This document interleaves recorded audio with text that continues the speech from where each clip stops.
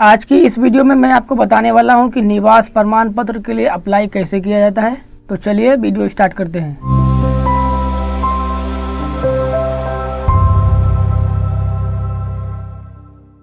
तो सबसे पहले आपको इस पेज में आना होगा। इसका लिंक आपको वीडियो के डिस्क्रिप्शन बॉक्स में मिल जाएगा।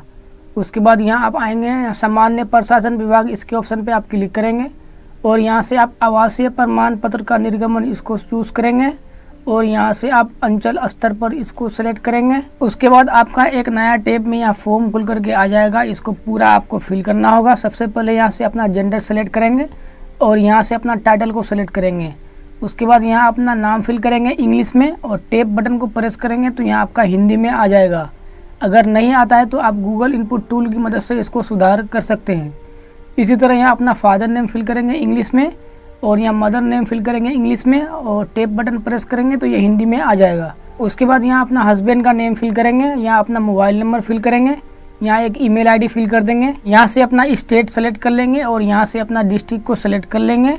उसके बाद यहाँ से आपको सब डिवीज़न सेलेक्ट करना होगा तो इसको पहले हम सेलेक्ट कर लेते हैं, उसके बाद यहाँ से अपना प्रखंड सेलेक्ट करेंगे और यहाँ अगर आप ग्राम पंचायत से हैं तो इसको सेलेक्ट करेंगे और यहाँ अपना वार्ड नंबर फिल करेंगे।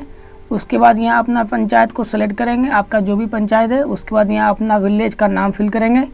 यहाँ अपना पोस्ट ऑफ़िस का नेम फिल करेंगे, यहाँ से अपना पुलिस स्टेशन सेलेक्ट कर लेंगे। उसके बाद यहाँ अपना एरिया पिन कोड फिल करेंगे, यहाँ आपको एक फ़ोटो अपलोड करना होगा। तो फ़ोटो के ऊपर आपका सिग्नेचर होना चाहिए। उसके बाद यहाँ चूज़ फ़ाइल के ऊपर क्लिक करेंगे, जो भी फोल्डर में फ़ोटो रखा हुआ है, उसको सेलेक्ट करेंगे और ओपन कर देंगे। तो आपका यहाँ पे फ़ोटो आ जाएगा। उसके बाद यहाँ से आप निवास का प्रकार चूज़ कर लेंगे, अस्थाई। उसके बाद यहाँ आप पर्पस ऑफ़ अप्लीकेशन किस काम के लिए ये आप सर्टिफिकेट बना रहे हैं, वो यहाँ पे लिख देंगे। जैसे कि हमने यहाँ पे एडमिशन लिख दिया है, उसके बाद यह टर्म को एक्सेप्ट किया हुआ है ये डिक्लेरेशन पढ़ लेंगे और नीचे आएँगे ये कैप्चा यहाँ फिल करेंगे और प्रोसीड के ऑप्शन पे क्लिक करेंगे। उसके बाद आपके सामने इस तरह का पेज आ जाएगा, यहाँ अपना डिटेल्स को एक बार फिर से आप मिला लेंगे। और अगर आपको लगता है कि किसी चीज़ में गलती है तो यहाँ एडिट पे क्लिक करके आप अपना एडिट कर सकते हैं। अगर आपको लगता है कि सब कुछ ठीक ठाक है तो यहाँ एटेच एनेक्चर पे क्लिक करेंगे।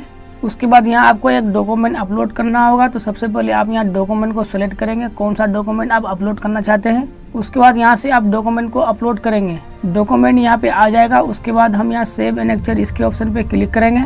उसके बाद आपके सामने फाइनल पेज आ जाएगा। यहाँ पे आप चाहे तो इसको एक बार फिर से देख सकते हैं, वरना यहाँ पे डायरेक्ट आएँगे और सबमिट के ऑप्शन पे क्लिक करेंगे। सबमिट के ऑप्शन पर क्लिक कर दिए आपको यहाँ पे एक एक्नोलेजमेंट रिसिप्ट मिल जाएगा। इसको आप अपने पास संभाल के रखिए। इसमें आपका पूरा डिटेल्स रहता है। इसमें आपका आवेदन संख्या भी रहता है। इसी को लेकर के आप अपना अप्लीकेशन को ट्रैक कर सकते हैं। और जब एप्लीकेशन आपका बन जाए तो इसी एप्लीकेशन नंबर से आप इसको डाउनलोड भी कर सकते हैं। इसको पीडीएफ में सेव करने के लिए सबसे पहले आप नीचे आएँगे और यहाँ एक्सपोर्ट टू पीडीएफ इसके ऑप्शन पे आप क्लिक करेंगे तो ये पीडीएफ में सेव हो जाएगा। सो आई होप कि आपको वीडियो काफ़ी पसंद आया होगा। अगर पसंद आया है तो लाइक कीजिए कमेंट कीजिए शेयर कीजिए। और इस तरह का इंपॉर्टेंट वीडियो देखने के लिए हमारे चैनल को सब्सक्राइब ज़रूर कर लीजिए।